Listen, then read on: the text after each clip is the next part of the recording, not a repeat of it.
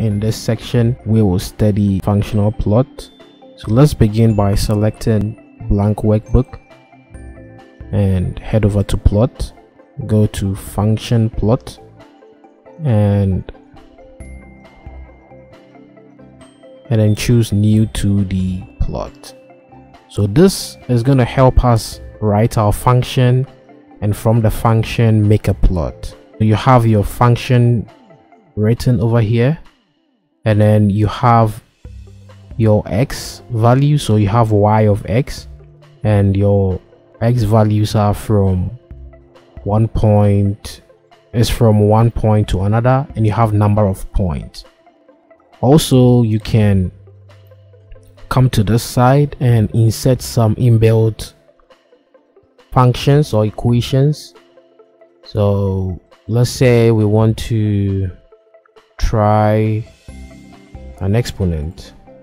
So let's just try and make 100 point of an exponent from 2 to 20 and yeah and build this. So there you go. So you've built an exponential graph. And you can edit it as we've always done. So you can do same edit the scale the lines and thicks and all. You can also double click on this and it'll first bring the function. So you can even change your function again or edit your function as you go. So let's say we want to add 2 times to it and hit apply and it changes. You can also add let's say 3 here but you always have to add time. So anytime you have this color it means it's not complete. So make sure you complete what you have. So you have to add the multiplication sign and you have it here. So these are some of the things that you can do using this tool. You can also click this side and bring back the formula and maybe you want to change it to square root or something or add some more signs or maybe write some more you can do it here. You can also come to line and edit it as we always do. So we have solid you can change the styles you can change the width change the colors change the transparency. You can edit all these add drop lines and labels as we always do for the line editing.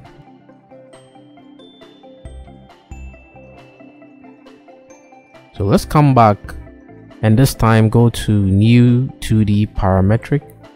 So this is quite the same. You just have to write. So this time it's a function of t. So you have two equations as a function of t and you can write your equations. So let's let's just write one. A times let's try a times cos t. Then let's do plus let's do b divided by n and let's do times cos let's do n times t. So we have this equation. Let's just copy it and bring it to the y side and change the causes to sines or the cosines to sine. And let's make this a negative and make this a sine. however you can see that our equations are not complete because we have these shaded areas so we have to come and define these constants so if you come here the name you double click then you say a then come to value you double click let's call it 2 and then you can right click and add new and then let's go to b and go to value. Let's make it one. And then you right click add new. Let's go to c um, n and make it two. So let's just copy this in case it doesn't come out right? We don't lose it and we go. Okay so there you go. You have a parametric plot and you have your table also generated from the functions that you provided. You can double click on it and adjust. So once you adjust it maybe you make this 7 and you hit apply things change. But I think the scale has changed so that is something to note. And yeah that will be it for parametric. So this brings us to the end of 2d function plot. Let's move to 3d function plot. See you in the next lecture